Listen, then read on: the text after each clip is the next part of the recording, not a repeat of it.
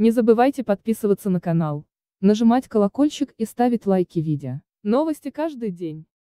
Друзья, папарацци устроили настоящую охоту на близких актрисы. Родственники Анастасии Заворотнюк пожаловались на преследование со стороны папарацци. Близкие актрисы не могут спокойно шагу ступить. Везде оказываются под объективами фото и видеокамер. В блоге поддержки актрисы они опубликовали несколько снимков мужчин, которые нарушают их личное пространство. Лезут к ним с вопросами и снимают.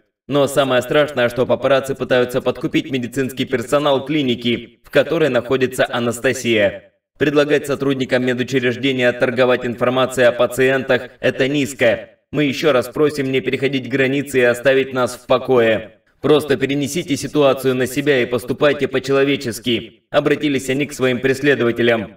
Близкие Анастасии напомнили своим обидчикам, что у них тоже есть дети и родители, и обратили их внимание на то, что карьерные амбиции – это не самое важное в жизни, ведь каждый из них может оказаться на месте героев собственных персонажей. К слову, 23-летняя Анна Заворотнюк успела побыть дизайнером всего пару месяцев. Напомним, в конце августа, когда пошла первая волна слухов о тяжелой болезни прекрасной няни, актриса в своем инстаграме поделилась радостной новостью. «Моя Анюта с подругой запустили собственную линию одежды и аксессуаров в Москве», написала Анастасия Заворотнюк. Все делают сами от разработки концепции бренда и дизайна всей продукции до отбора материалов и пошива. Считаю отличный старт и получается весьма неплохо. Первая коллекция разошлась на ура. Как мама горжусь своей девочкой. Только вперед, дальше больше. В начале сентября журналисты комсомолки побывали на открытии шоурума. Небольшое помещение на втором этаже здания на Малой Бронной оказалось спрятано во дворах и закрыто от глаз случайных покупателей.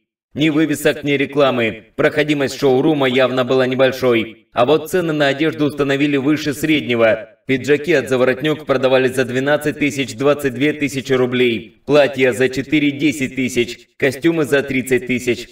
Одежду собственной марки девушка активно рекламировала в соцсетях, выступая не только дизайнером, но и моделью.